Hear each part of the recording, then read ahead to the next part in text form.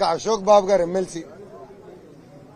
ఆయన పైన కూడా ఏకంగా attempt murder three not seven ఆ కేసులో నేను A one attempt murder three not seven ఉంది ఇప్పుడు కూడా నా పైన. ఆయన ఏ టూ అంటే ఎంత గడిపోయింది చూడండి. ఇంకా మా పట్టాభి గారి పైన మీరు చూసినారు. ఒక ప- పదం వాడినందుకే ఆయన ఇంటి పైన దాడి చేసినారు. మళ్ళీ వచ్చి మా కేంద్ర పార్టీ కార్యాలయం పైన వైకాపా కుక్కలు ఎట దాడి చేశారో మీరు అందరూ చూసినారు. ఇంకా నా పైన ఇప్పటికీ పద్నాలుగు కేసులు పెట్టారు. దాంట్లో భాగంగా ఏకంగా ఒక కేసు అటెంప్ట్ మర్డర్ అంటే రెండు వేల పంతొమ్మిది ముందర నా- నా పైన ఏనాడు ఒక్క కేసు లేదు. నేను ఏనాడు పోలీస్ స్టేషన్కి వెళ్ళాను అలాంటిది పద్నాలుగు కేసులు పెట్టారు అటెంప్ట్ మర్డర్ పెట్టారు. ఇప్పుడు జగన్ మాఫియారెడ్డి ఒకటి చెప్తున్నా. బ్రదర్ మా బయోడేటాలో భయం ఉండదు. నువ్వు దొంగ కేసులు పెడితే మేము భయపడిపోతాం. నువ్వు దొంగ కేసులు పెడితే మేము పారిపోతాం. లేదంటే మా కార్యకర్తలను చంపితే మేము అధైర్యపడతాం తెలుగుదేశం పార్టీ వాళ్ళు భయపడిపోతారు అనుకున్నాం చాలా పొరపాటు చేస్తున్నాం. మీ అయ్య కూడా ఇదే అనుకున్నాడు. ఏమైందో నీకు తెలుసు. కత్తితో బతికితే కత్తితోనే సస్తావు. జగన్ మాఫియా రెడ్డి నువ్వు గుర్తుపెట్టుకోవాలా ఇది? కత్తితో బతికితే కత్తితోనే సస్తావు. అన్ని అరాచకాలు నువ్వు ఈరోజు చేస్తున్నావు. ప్రజల తరపున ప్రజల సమస్యల గురించి మేం పోరాడితే మా పైన దొంగ కేసులు పెట్టి అటెంప్ట్ మర్డర్ పెట్టి మమ్మల్ని భయపెడతావు అనుకుంటే మటుకు నువ్వు చాలా పొరపాటు పడుతున్నావు. ఇక్కడ నేను అధికారులు కూడా నేను చెప్తున్నా. మీరు కూడా ఆలోచించుకోండి. జగన్ మాఫియా రెడ్డి శాశ్వతం కాదండోయ్ వ్యవస్థలు శాశ్వతం. రాష్ట్రం శాశ్వతం. ఇట్టనే గతంలో మీ డీజీపీ గౌతమ్ సవాంగ్ అడ్డగోలుగా చేశాడు. ఏమైంది ఆయనకి ఇప్పుడు? ఎక్కడున్నాడు? గుర్తుపెట్టుకోండి ఏమైంది? వాడేశాడు పడేశాడు జగన్ మాఫియా రెడ్డి. గుర్తుపెట్టుకోండి ఎన్ని ఏ అధికారులైతే చట్టాన్ని ఉల్లంఘించి ప్రజలపైన తెలుగుదేశం పార్టీ కార్యకర్తలపైన దాడి చేశారో మేము మిమ్మల్ని వదిలిపెట్టే ప్రసక్తే ఉండదు. గతంలో చెప్పిన ఎస్ అన్న ఎన్టీఆర్ మా దేవుడు చంద్రబాబు నాయుడు గారు మా రాముడు కానీ లోకేష్ మటుకు మీలాంటి వాళ్ళకి మూర్ఖుడని మళ్ళీ చెప్తున్నా. మా రాముడు మరి మర్చిపోతాడేమో కానీ నేను మట్టుకు వదిలిపెట్టను. వైకాపా నాయకులు చెప్తున్నా. వైకాపా కార్యకర్తలు చెప్తున్నా. ఆలోచించండి. రెండు వేల పద్నాలుగు నుంచి పంతొమ్మిది వరకు మిమ్మల్ని వదిలిపెట్టాం. ఏనాడు మీ పైన దొంగ కేసులు పెట్టిలా? మీ నాయకుడు వేల కిలోమీటర్లు పాదయాత్ర చేశాడు. ఎంత చేశాడయా మేం భద్రత కల్పించినాం ఆనాడు. రోపట్టి పెట్టాం. Z plus category. ఈ జగన్ మాఫియా రెడ్డికి చంద్రబాబు నాయుడు గారు ఇచ్చారు కనుకనే ఆయన మొత్తం పాదయాత్ర చేశాడు. అదే మా రాముడు చిట్కలు వేసి ఉంటేనా మీ నాయకుడు జగన్ మాఫియా రెడ్డి ఆంధ్ర రాష్ట్రం నడిసే పరిస్థితి ఉండేదా అని ఒక్కసారి మిమ్మల్ని అందరిని ఆలోచించమంటున్నా. ఇంకో పక్కన మాచర్లో ఇప్పటికీ ఐదుగురు కార్యకర్తలు చంపారు. దాంట్లో నలుగురు బడుగు బలహీన వర్గాలకు చెందిన వ్యక్తులు యాదవ కులానికి చెందిన వ్యక్తులు. అడుతున్నా పిల్లని పిన్నల్ని రామకృష్ణారెడ్డిని అడుతున్నా ఇంటి పేరు మార్చుకో పిల్లి రామకృష్ణారెడ్డిని పెట్టుకో. ఏమయ్యా? రోజుకో కేసు పెడతావు మా కార్యకర్తల పైన? నిన్న కూడా మా కార్యకర్తని పోలీస్ స్టేషన్ పిలిచి కేసులు పెడతావా? ఎక్కడ పోతావు నువ్వు? ఇరవై నాలుగు తర్వాత ఎక్కడ పోతావు? గుర్తుపెట్టుకో. నువ్వు ఆంధ్ర రాష్ట్రంలో కాదు భారతదేశంలో కాదు ప్రపంచంలో నువ్వు ఎక్కడున్నా నిన్ను మళ్ళీ ఇక్కడ తీసుకొస్తాం. ఏ తప్పులైతే నువ్వు చేస్తున్నావో ఏ కార్యకర్తల పైన అయితే నువ్వు దొంగ కేసులు పెడుతున్నావో ఏ మాచర్ల ప్రజలనైతే హింసిస్తున్నావో ఏ గుట్కాని అమ్ముతున్నావో కల్తీ మద్యాన్ని అమ్ముతున్నావో ఇల్లీగల్గా గ్రనైట్ని తరలిస్తున్నావో అవన్నిటిపైన సిబిఐ ఐటీ ఈడీకి నీ కేసు అప్పగిస్తాం. అంతేకాదు మేము కూడా ప్రత్యేక బృందాలు ఏర్పాటు చేసి మీలాంటి నాయకులు చేసిన తప్పు బయట పెడతాం నిన్ను శాశ్వతంగా కూడా జైలుకు పంపిస్తానని కూడా ఈ పిల్లికి నేను హెచ్చరిస్తున్నా మీ ఇంటి పేరు మీ ఇంటి పేరు పిల్లని ఎందుకు మార్చుకోమన్నానంటే దమ్ము ధైర్యం అంటే డైరెక్ట్గా రా బ్రదర్. పోలీసుని అడ్డం పెట్టుకుని వస్తాం కాదు. మా బ్రహ్మారెడ్డిని చూస్తేనే భయం మొదలైంది నీకు. అందుకే నువ్వు మళ్ళీ నీలాంటి ఒక సైకో మీ తమ్ముడు మా ఆచర్ల ప్రజల్ని పీడిస్తున్నారు హింసిస్తున్నాడు. అక్కడ ఎవడు పనిచేయాలన్నా ఎవడు బతకాలన్నా ఈ పిల్లికి పిల్లి తమ్ముడికి కప్పం కట్టాలి. ఏమైనా మీరు చేసేది? ఎందుకైనా మీరు ఎమ్మెల్యేలైంది? ప్రజల్ని చంపేదానికా మీరు ఎమ్మెల్యేలైంది?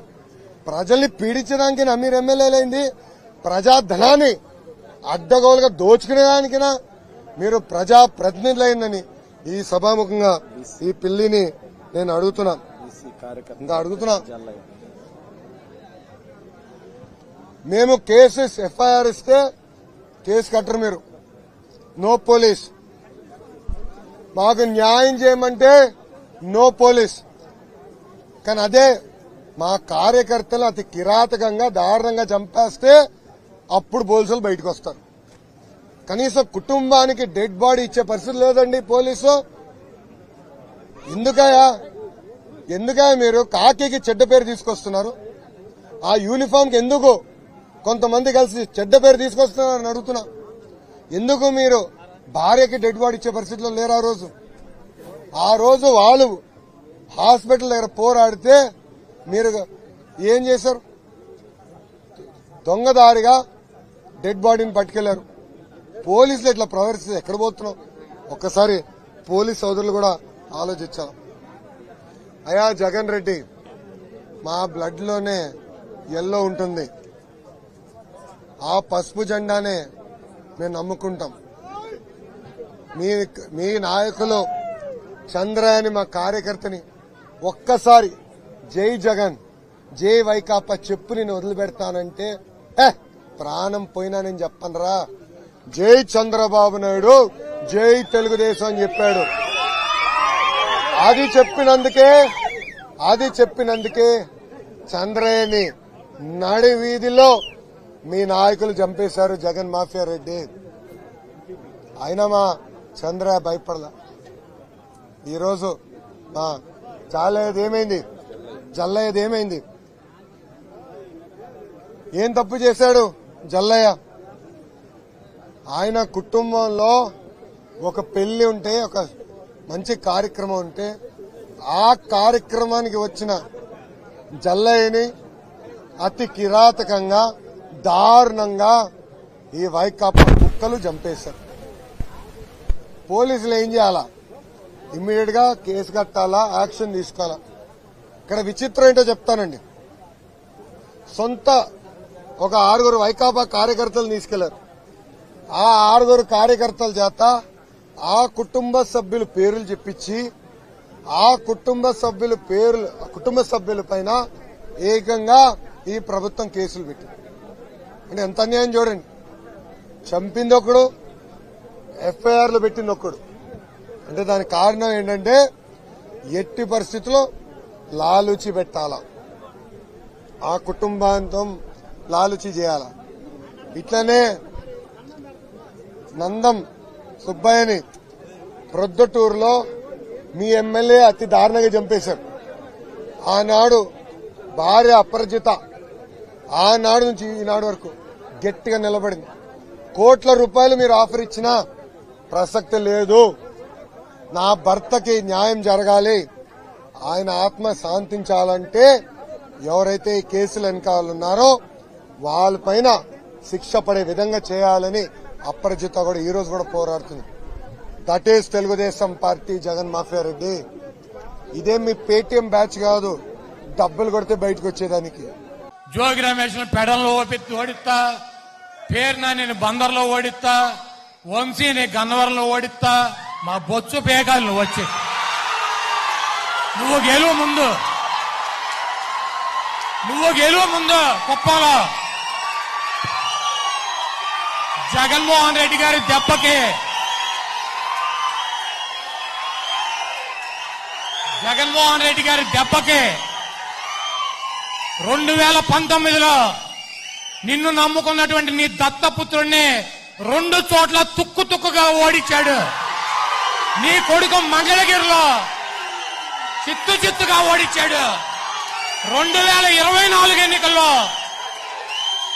నిన్ను కుప్పంలో ఓడించి ఈ రాష్ట్ర ప్రజల రుణం ఎన్టీ రామారావు రుణం తీర్చుకునేటువంటి వ్యక్తి జగన్మోహన్ రెడ్డి గారు. నీకు దమ్ము ఉంటే చంద్రబాబు నాయుడు. నువ్వు గుడివాడరా ఇక్కడ పోటీ చేద్దాం. నన్ను ఓడించి రాష్ట్రం వదిలేసి వెళ్ళిపోతా. లేకపోతే నువ్వు పార్టీ పీక్కుని పోతావా? ఒకటే. ఒకటే. బాబు సైలెంట్గా ఉండండి ఒక్కటే నేను చెప్తా. ప్లీజ్ వినండి. ఒకటే చెప్తా. చంద్రబాబు నాయుడు ఎంత అసమర్థుడా చెప్తా వినండి. నాది గుడివాడ. నేను రెండు వేల నాలుగులో గెలిచా. రెండు వేల తొమ్మిదిలో గెలిచా. రెండు వేల పద్నాలుగులో గెలిచా. రెండు వేల పంతొమ్మిదిలో గెలిచా. గెలు రెండు వేల ఇరవై నాలుగులో గెలుస్తా. రెండు వేల ఇరవై తొమ్మిదిలో గెలుస్తా. ఇక్కడే పుట్టా. ఇక్కడే చనిపోతా. ఇక్కడే మట్టిలో కలిసిపోతా. కానీ కానీ ఒక్కడి గుర్తు పెట్టుకోండి రాష్ట్ర ప్రజలు. ప్లీజ్ ఈ రాష్ట్ర ప్రజలు ఒకటే గుర్తు పెట్టుకోండి. చంద్రబాబు నాయుడు పుట్టిన ఊరు నారావారి పల్లె. ఆ నారావారి పల్లె ఎక్కడుంది? చంద్రగిరి నియోజకవర్గంలో ఉంది. చంద్రబాబు నాయుడు చంద్రగిరిలో పుట్టాడు. చంద్రగిరిలో పెరిగాడు. పంతొమ్మిది వందల డెబ్బై ఎనిమిదిలో చంద్రగిరి నుంచి శాసనసభ్యుడిగా పోటీ చేశాడు. మంత్రి అయ్యాడు. ఎమ్మెల్యే అయ్యాడు. ఎనభై మూడులో ఏమైందండి? ఎన్టీ రామారావు దెబ్బకి తెలుగుదేశం పార్టీ దెబ్బకి చంద్రబాబు నాయుడు ఫుట్బాల్ లాగా ఎగిరాడు గాల్లోకి. ఎనభై ఐదులో ఈ నీచుడికి సీట్ ఇవ్వల రావరారు ఈ నీచుడికి సీట్ ఇవ్వల రావరారు అయినా కూడా తెలుగుదేశం పార్టీ గెలిచింది ఎనభై ఐదులో కూడా చంద్రగిరిలో. ఎనభై తొమ్మిదిలో కాంగ్రెస్ గెలిచింది. తొంభై నాలుగులో ఈ నిష్టదరితుడు తమ్ముడు రామూర్తి రాయని పెట్టి ఎన్టీ రామారావు తెలుగుదేశం పార్టీని గెలిపించాడు చంద్రగిరిలో. అంటే ఎన్టీ రామారావు ముఖ్యమంత్రిగా ప్రతిపక్ష నాయకుడిగా తెలుగుదేశం పార్టీ అధ్యక్షుడిగా ఉండగా ఈ నీచుడు నియోజకవర్గం చంద్రగిరిలో ఈ నారావారి పల్లెలో ఒక్కసారి కాంగ్రెస్ గెలిస్తే మూడు సార్లు తెలుగుదేశం గెలిచింది. ఆ నియోజకవర్గం తెలుగుదేశానికి కంచుకోట కాదా? ఎన్టీఆర్ ఉండగా కంచుకోట ఈరోజు ఈ రోజు చంద్రబాబు నాయుడు ఎన్టీఆర్కి వెన్నుపోటు పొడిచాడు. పార్టీని లాక్కుని అధ్యక్షుడు అయ్యాడు పద్నాలుగేళ్ళు ముఖ్యమంత్రిగా ఉన్నాడు. పదమూడేళ్ళు ప్రతిపక్ష నాయకుడు కొన్నాడు. తొంభై తొమ్మిది ఎన్నికల్లో ముఖ్యమంత్రిగా ఉండకి వెళితే అక్కడ గెలిచింది గళ్ళ అరుణ కుమారి కాంగ్రెస్. రెండు వేల నాలుగులో ముఖ్యమంత్రిగా వెళితే అక్కడ గెలిచింది గళ్ళ అరుణ కుమారి కాంగ్రెస్. రెండు వేల తొమ్మిదిలో మహాకూటమి అని చెప్పి నాలుగు పార్టీలను కలుపుకుని వెళ్తే అక్కడ గెలిచింది గళ్ళ అరుణ కుమారి కాంగ్రెస్. రెండు వేల పద్నాలుగులో గళ్ళ అరుణ కుమారి చాలా బలమైనటువంటి అభ్యర్థి అని చెప్పి నాలుగు సార్లు గెలిచినటువంటి గళ్ళ అరుణ కుమార్ని పార్టీలో చేర్చుకుని ఆవిడికి సీట్ ఎత్తే ఈ నిష్టదరిద్రుడు దెబ్బకే ఆవిడ ఓడిపోయి వైసీపీ గెలిచింది. రెండు వేల పద్నాలుగులో. రెండు వేల పంతొమ్మిదిలో వైసీపీ గెలిచింది. అంటే ఎన్టీ రామారావు నాలుగు సార్లు ఎన్నికలు ఆడితే మూడు సార్లు తెలుగుదేశం పార్టీ గెలిచినటువంటి కంచుకోట ఈ నిష్టదరిద్రుడి వలన ఈ ఫోర్ ట్వంటీ వలన ఈ దొంగ వలన మూడు సార్లు ఇతనికి వ్యతిరేకంగా కాంగ్రెస్ పార్టీ రెండు సార్లు వైసీపీ గెలిచింది. అంటే చంద్రబాబు నాయుడు ఎంత బలవంతుడో మీకు కానీ రాష్ట్ర ప్రజలకు కానీ ఆ తెలుగుదేశం పార్టీలో ఉన్నటువంటి పనికి మాలినటువంటి వ్యక్తులకు కానీ అర్థమవుతుంది అర్థం అవట్లేదు నాకు తెలవట్లేదు పామర్ నియోజకవర్గం. పామర్ నియోజకవర్గం ఎన్టీఆర్ ఉన్నటువంటి నిమ్మకూరు.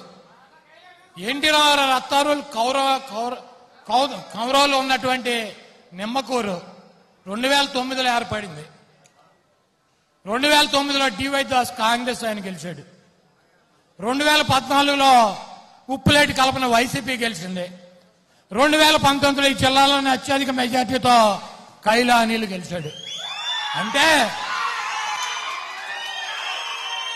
నువ్వు ఫోర్ ట్వంటీ అని చంద్రగిరిలోనే కాదు ఎన్టీ రామారావు పుట్టి పెరిగినటువంటి ఇక్కడ కూడా తెలుసు నిమ్మకూరులో పామర్ నియోజకవర్గంలో. ఎన్టీఆర్ అనేవాడు మా ఆస్తి గుడివాడ ప్రజల హక్కు మా కోసం పార్టీ పెట్టినటువంటి నాయకుడు మా కోసం జీవించినటువంటి నాయకుడు. నువ్వెవడు రా.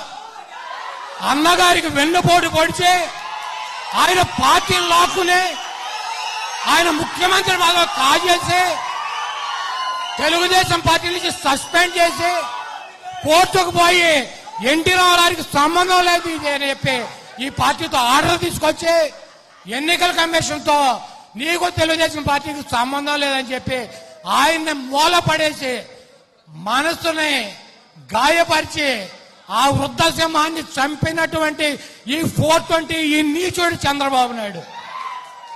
ఈ ప్రాంతంలో నిన్ను గాని నీ పార్టీని గాని కోకటి వేళతో సహా పెగిలిస్తాం. జగన్మోహన్ రెడ్డి గారి విజయాన్ని ఎవరు కూడా ఆపేటువంటి ప్రసక్తి ఉండదు.